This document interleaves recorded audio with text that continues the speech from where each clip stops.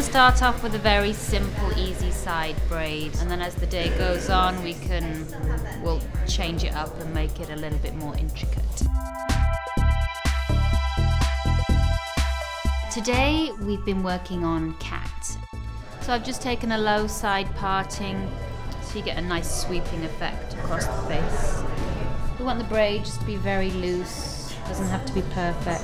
Just pull a few pieces out. A little tease at the crown is always nice. There we go. Beautiful. Gorgeous. Nice.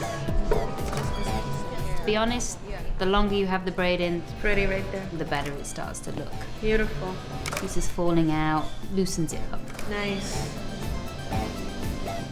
We're gonna do a braid just to frame around the front of the face and then pin it just in the middle of the back of the head and then just leave the rest of the hair loose.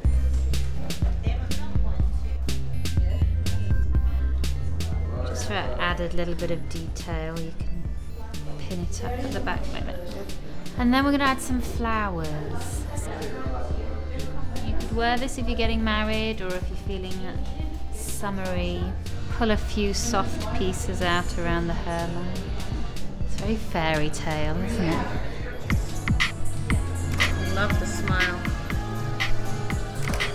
That's nice. That's it right there.